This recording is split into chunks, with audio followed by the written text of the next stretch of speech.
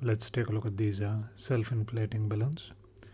Each one uh, costs around uh, 20 rupees or around um, 30 cents or so. This is how it looks uh, once inflated.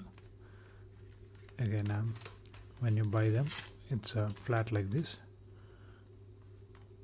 And it comes with uh, different designs on it. Again I didn't know about these inflated balloons before again pretty simple instructions.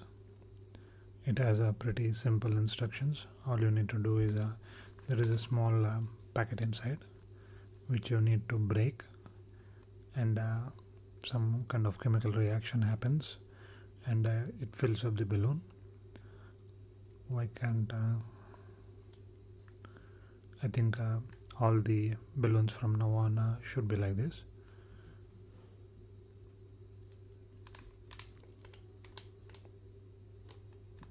and uh, it's a quite a simple uh, I don't know what kind of chemical reaction happens uh, in there.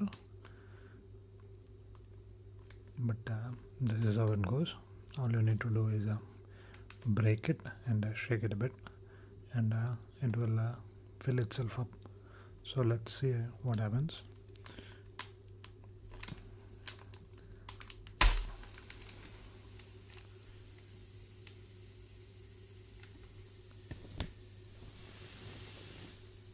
that's the sound it makes. And you just uh, keep shaking it.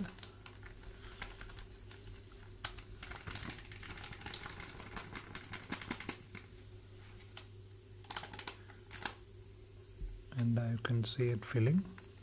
It actually gets uh, cold. I think that's from the chemical reacting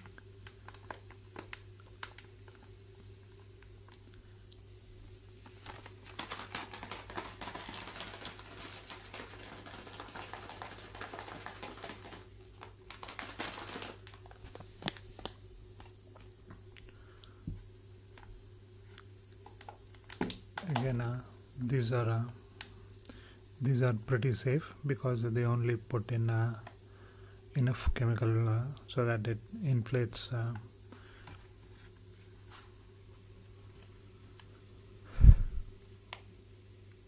inflates uh, up to a point and uh, stops. It doesn't uh, explode